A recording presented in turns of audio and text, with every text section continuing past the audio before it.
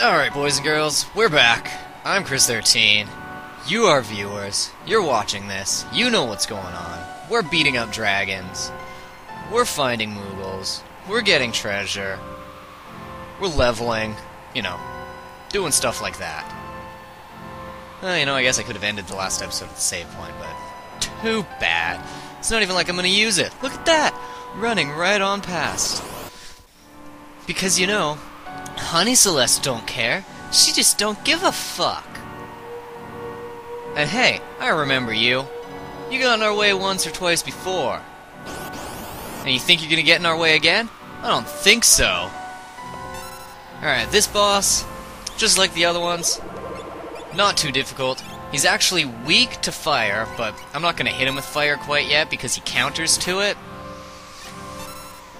What I'm going to do is I'm just going to start by hitting him with all my strongest magic, well, strongest abilities. Actually, you'll see what he does when you cast fire on him. It's nothing really all too worrisome. Plus, it should probably end up killing him, honestly. But, wait. Oh, you absorb Pearl! You jerk.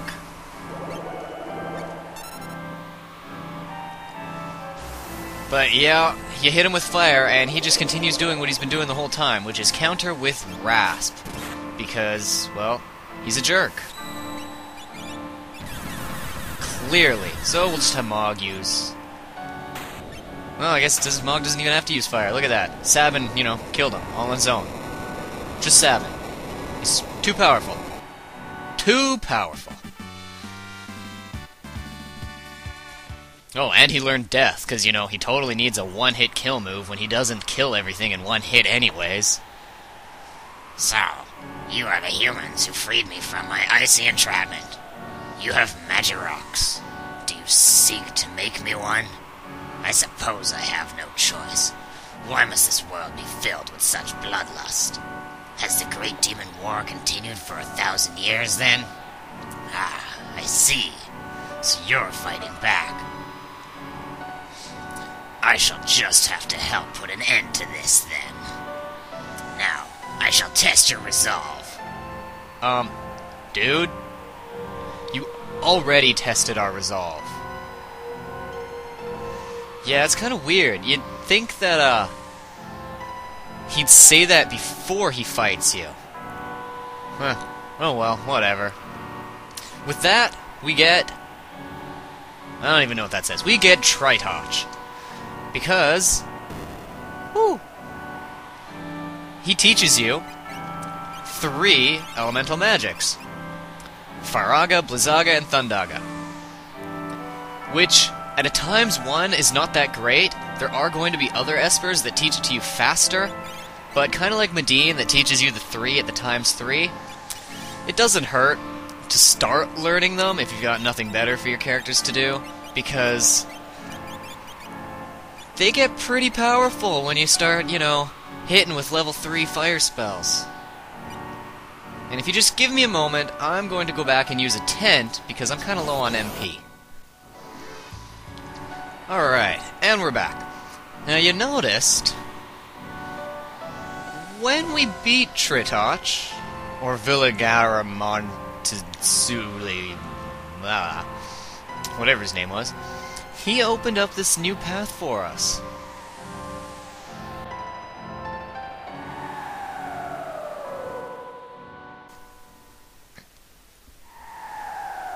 So, of course we're gonna jump down.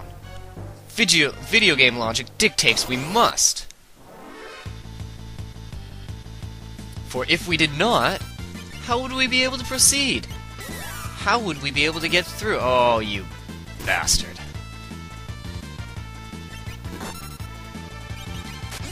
Oh, you're probably gonna die before I have a chance to undo this, but whatever, I'll give it a shot. Look at that, I'm still trying to pick it on myself. And I'm already... Urgh. Jerk. Ah. Well, looks like we're gonna have to worry about that coming through here. Whoa, hole.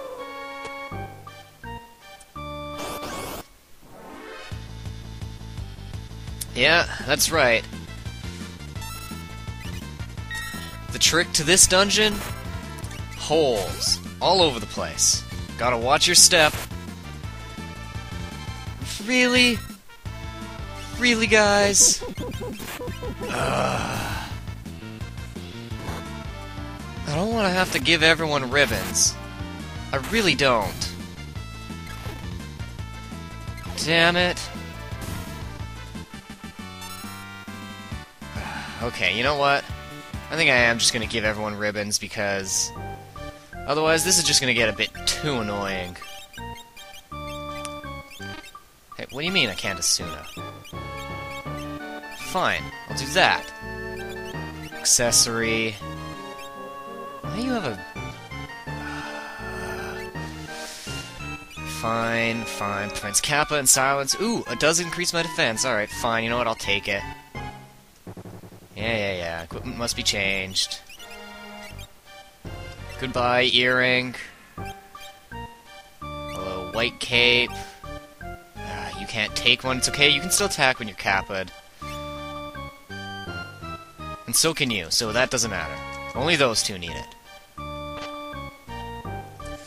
Anyways, as I was saying, the uh, trick to this dungeon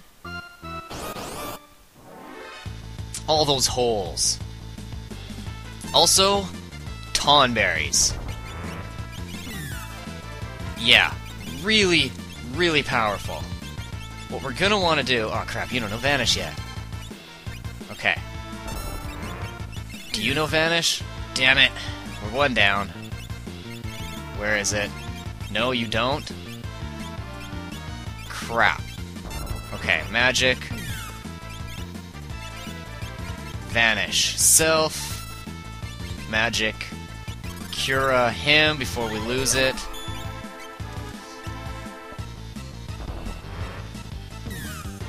Uh, yeah. Step count does damage equal to the amount of steps you've taken divided by something. Also known as lots of damage. You bastard. I hate those guys. I hate them so much. Alright. Time to revive everybody. Seriously, how is she the only one who knows Vanish, though? Could have sworn more people knew it. Oh, you're working on it. Wait. Damn it! Oh, if only I'd known you had Phantom. Okay, whatever. Now I know. You can cure everyone up. And unfortunately, there goes my Phantom status, even outside of battle. Whee! Hole. Yeah, that was kind of stupid. Oh well. Um... There is actually a treasure chest in here somewhere. With, uh... Treasure box monster that I actually want to find. Though I can't quite remember where it is. Crap. You know what? We're gonna make do make this really easy on ourselves.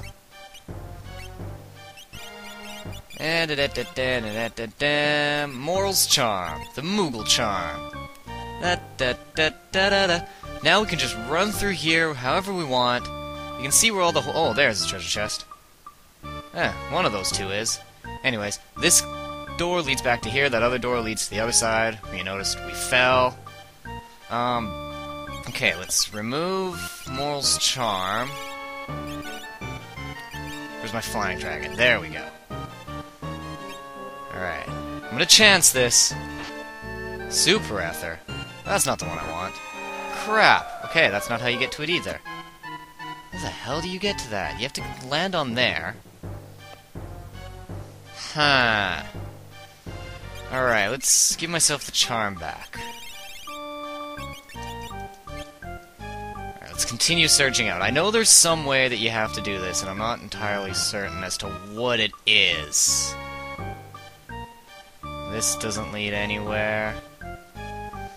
Alright, okay, we know that if we come back up through here, we just come back around. We can't get down to there without falling. There's nowhere else really that we can go, because there's nowhere that'll fall in here. Oh, okay, wait a second, wait a second, can we... There we go. That's what we have to do. So those see those dark spots on the ground? Yeah, if you step on those, you'll fall. So that one's a bit of a giveaway as to how to get through here. But just not all the spots that you're gonna fall on are gonna have, you know. Um, the dark spots. Anyways, do do do do. Let's go ahead and uh, fight ourselves some super hard enemies. Yeah! A monster's inside the treasure chest. A monster? No, that's a lie. There's multiple monsters inside this treasure chest. We have three Tonberries. Which, in all honesty... Oh crap, I don't have it anymore. Wow, I'm dumb. Okay. Um, anyways, what you're gonna want to do to beat these guys is just cast Vanish on everybody. Because you notice, these guys don't use Step Mine. They just use the regular attacks and slowly move forward. Once they get right up to you, they basically gut you like a fish.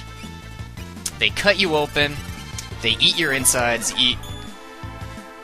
It's powerful. Alright? Very, very powerful. Okay? So just, just don't let it happen. Just vanish yourself, and you're pretty much now immune to all their attacks. Right? They'll get right up to you. They will Wait, shit, did I just... I'm not very smart, am I?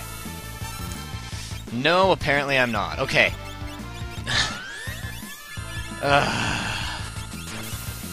this is just one of those days. I'm just not having a good day. Alright? Give me a break. Anyways, I wanted to cast Poison on them so that they die a bit faster, but I totally forgot they counter all magic with Holy which, as you can see, removes your Vanish stats. You gotta put it right back on.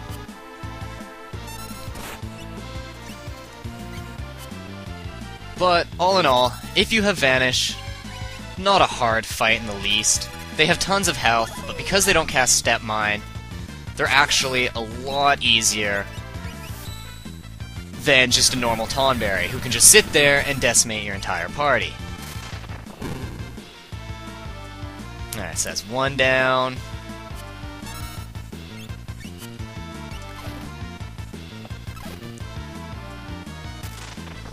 There's two down.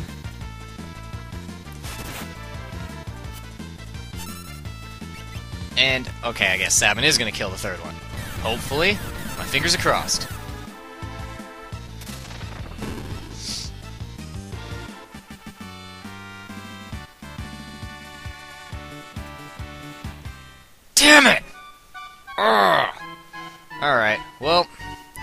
Actually drop an item, but it's rare.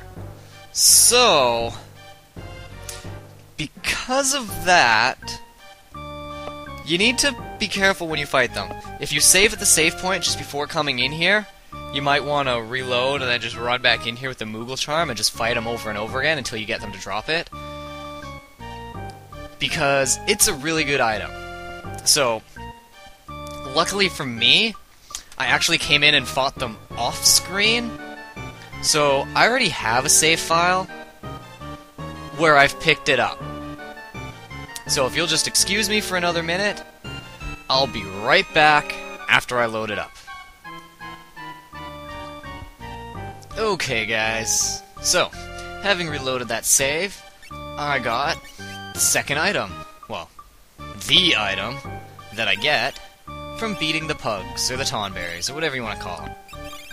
It is one of those great Minerva bustiers. Alright! Now, there's actually only a few places in the game you can get these. They're only equipable by Terra and Celes, although we've already been over the fact that they're really, really good. like excellent armor to have.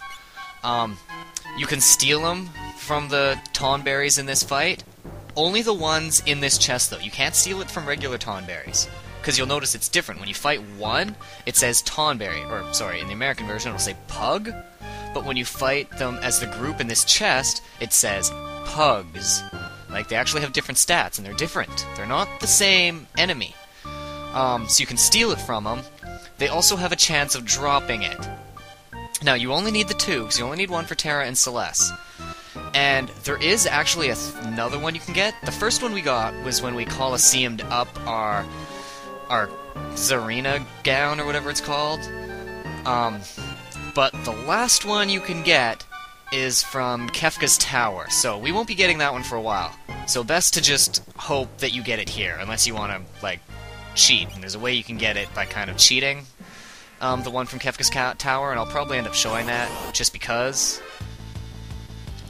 But, you know, it's not something that really needs to be done, and I'd prefer to have it, like, as soon as possible, because now I can actually use both Terra and Celeste at the same time without one of them being, you know, super frickin' weak. Alright, and Shadows learn Haste and Slow, times two. As in the level 2 abilities of both of those, whoops. Well, I was gonna say whoops, but I guess it's not that bad. And by... And by I was going to, I mean I did, however, this is actually the way I want to go, so it's not really the bad thing. Right? Cool. Alright, continuing on, this time we're not hitting the switch, killing more enemies, and proceeding onwards. Oh no, we fell again! But look, we landed in a new area. Alright, that's good. And we fight new enemies just before. Well, as soon as we get into... Ah, you bastard. Healing yourself, you can't do that. I'm supposed to be killing you.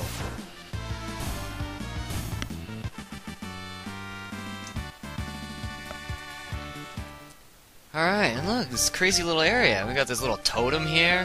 Huh, I wonder what it is. What's this, a sculpture? Well, I already asked, what is it? It's made of bone. There's something in the eye socket. Magirock? Yay, we got a Magicite! Look at that! We got Midgardsormr, or the Midgar Zolom, or whatever you want to call it in whichever game. I think in this game it's called, like, Terra something. It's basically your Earth. Your Earth Elemental Midgar. Or Midgar.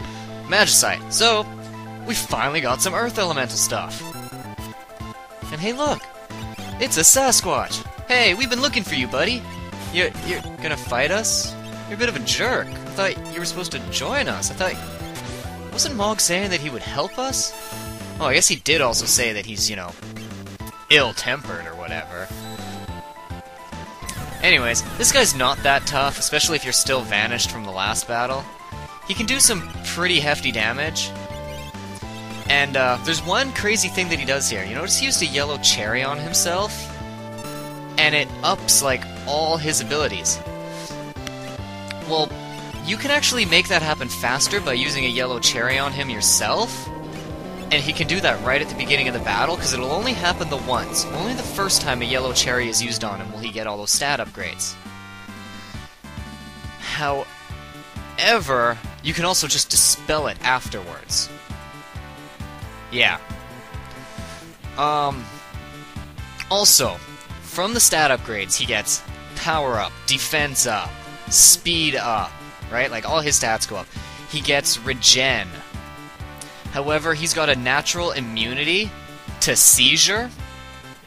And you know, seizure's like poison, but it doesn't actually like have like a stat thing. It just your health slowly goes down over time. Well, by being immune to seizure, he also becomes immune to the health restoration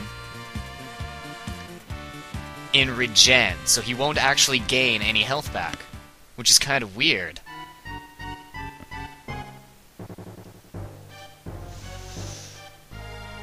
I'm your boss.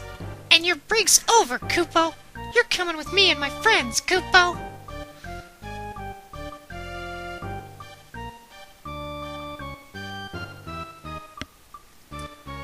A powerful, yet gentle Sasquatch who loves to carve bone sculptures, with a slightly violent side, and the strength to mow down an ironwood tree. His name is Umaro. Yeah!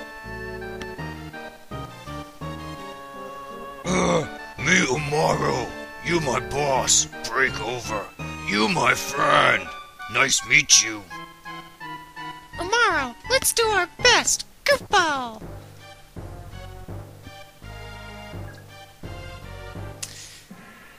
Oh, me wait on big airship you bring. Me saw when looking outdoor. Big, big ship. And with that, Umaro heads off to our ship. Now, he's a bit of an interesting character, this Umaro. He's always berserked, and his attacks are as if are like Gau's rage. Like, you have no control over him. He can deal a hefty amount of damage, and for a lot of novice characters, they kind of like him because you don't really have to control him, and he is fairly good. However, you can't equip him. What he comes with is a bone club and a snow muffler.